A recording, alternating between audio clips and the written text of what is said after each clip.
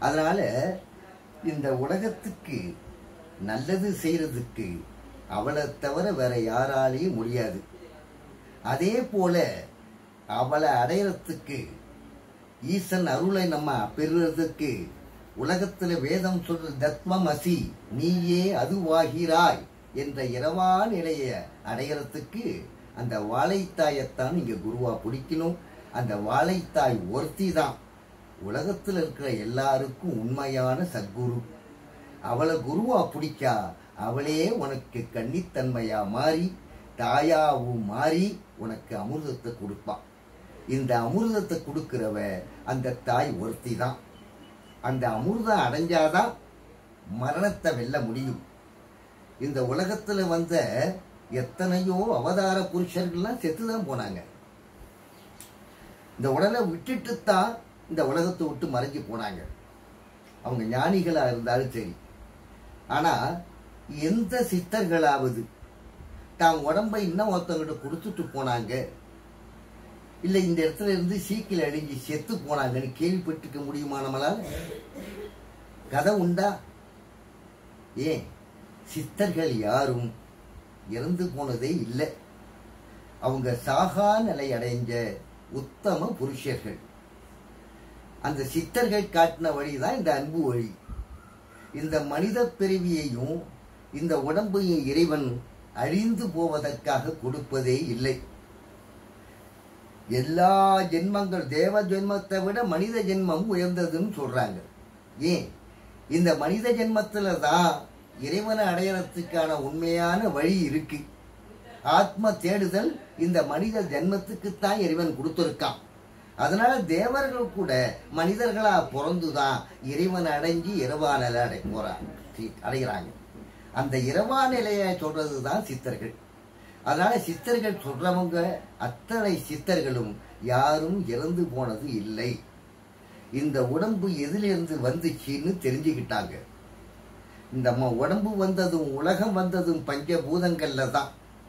அந்த பஞ்சபூதங்களால் ஆன இந்த உடம்பை சித்தர்கள் கலையான வாசி யோகத்தால இந்த உடம்பையே கரைச்சி அதே பஞ்சபூதங்கள்ல என்னென்னைக்கும் கலந்து இன்னைக்கும் நித்தியமா வாழ்ந்துகிட்டு இருக்கிறவங்க சித்தர்கள் தான்.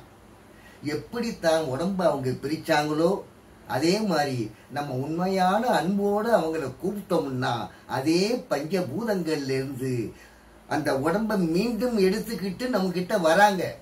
இது சத்தியம். இது எந்த பூஜ்யம் இல்லை. அதனால சித்தர்கள் இன்னை வரைக்கும் இறந்தது கிடையாது. இரவா நிலையை தொடர்றது சித்தர்கள் நிலை கிடையாது. மரணமிலா பெருவாழ்வு.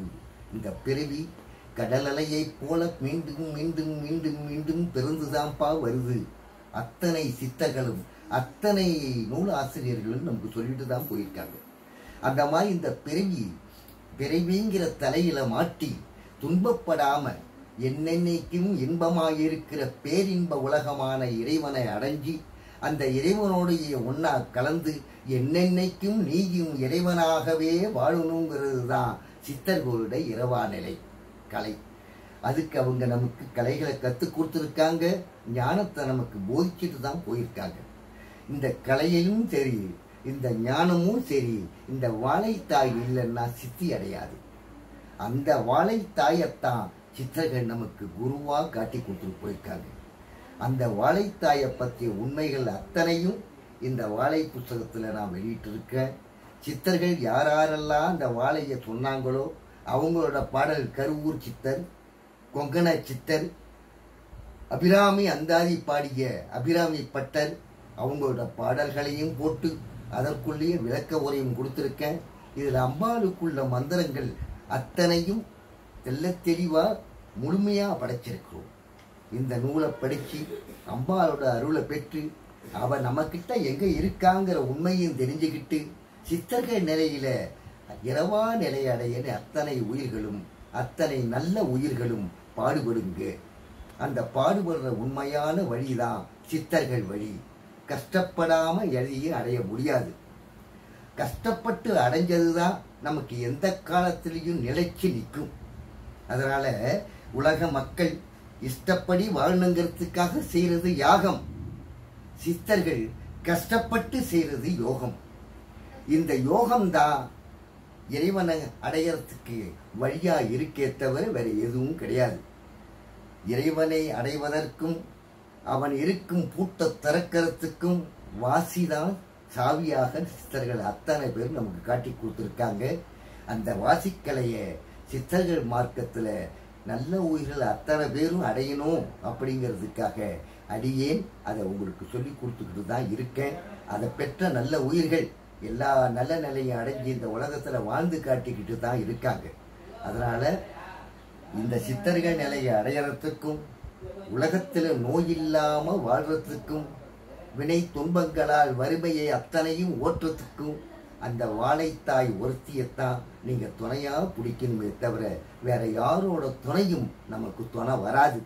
அந்த வாழைத்தாயை நீங்கள் உங்களுக்குள்ளேயே தெரிஞ்சு கும்பிட ஆரம்பிச்சீங்கன்னாக்கா உங்களுக்கு என்னென்ன தேவையோ அத்தனையும் அவ செஞ்சு தருவான்.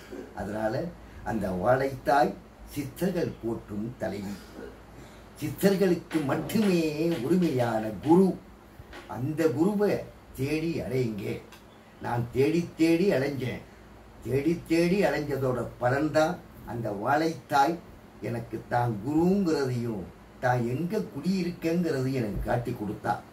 எனக்கு காட்டி கொடுத்த மாதிரியே தான் எல்லா சித்தர்களுக்கும் காட்டி கொடுத்தா.